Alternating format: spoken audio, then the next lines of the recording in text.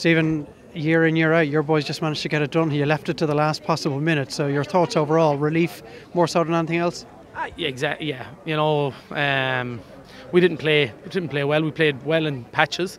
Uh, thought, you know, we started very, very well. You know, controlled the game for the first 50 minutes, went five and up, but then we just started to hand over the ball just so so easily. But you know, thankfully, you know, that's something that we're going to be able to reflect on with, uh, I suppose, a different perspective uh, as as we head toward the 13th of May. You started the game so well and then went out of it completely. Donegal took over. I think it was a scoring run of about eight points to one at one stage. So you, you really had to dig it out and turn it around.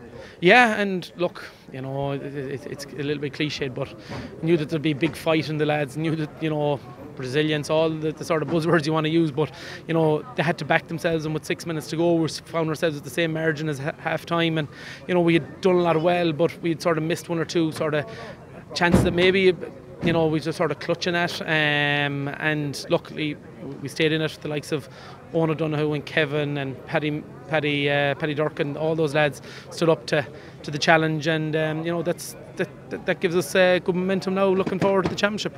Now that you have done it and you have managed to stay in Division One, what does it mean to you? Like, what would have meant today if if you'd gone down? I guess it's easier to maybe reflect it now that you've got the job done. Um, I suppose it, it, you know, we would have probably. Uh, we've been obviously hugely disappointed because um, you know this group, uh, uh, as, as they commenced, they played all their football in Division One, and the jersey was handed to them in Division One, and it was something that we probably spoke a little bit about during the week. That you know that's part of you know the the ownership that you have while you're here is that you hand that jersey on and say in better condition than a than you than you received it, and um, you know we would have been hugely disappointed. Um, and look, the reality is that we're not happy with that performance. Mm. We're happy with, with, with the score, um, and we're happy to move on now towards the 13th of May, and we what we know is going to be an almighty battle it's kind of a theme of your time as Mayo manager.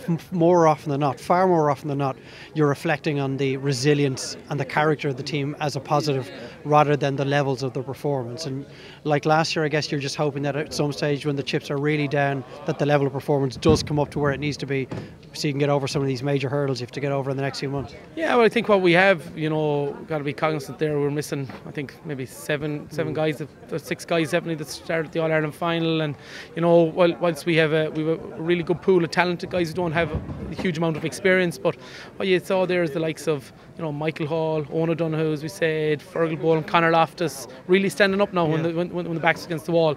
So um, you know that's only going to come with throwing the guys into the in, into that fire, uh, and it wasn't going to be pretty. We said that at the very outset of the league, like that we were going to be it was going to be a very challenging period.